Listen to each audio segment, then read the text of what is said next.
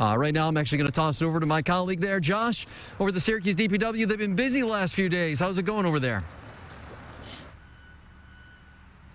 Yeah, John, they've been busy today with phone calls. And normally, when you hear about phone calls to DPW, you don't always think positive. But today, it's been positive. A big turnaround from what we saw earlier this year. We spoke with DPW officials saying they'd be getting compliments over the phone.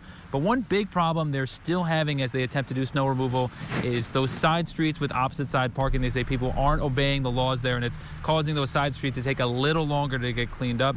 But other than that, this snow removal and this snow and this snow effort from the city of Syracuse has received public approval after the biggest snowfall of the year so far. It's actually been a positive day. We were supposed to be off today. It's a holiday, but we did bring in some people to answer the phones just in case there were those phone calls.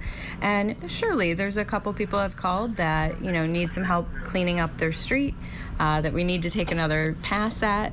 Maybe the cars have moved, so we need to come back.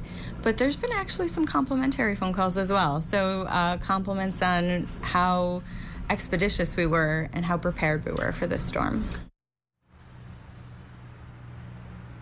City crews are going to continue to work through the night. We've seen a couple different trucks just before we came live here filling up with salt. A reminder, as Christy said earlier, that salt isn't going to have as much of an impact as normally would due to these freezing cold temperatures. Rod and Christy.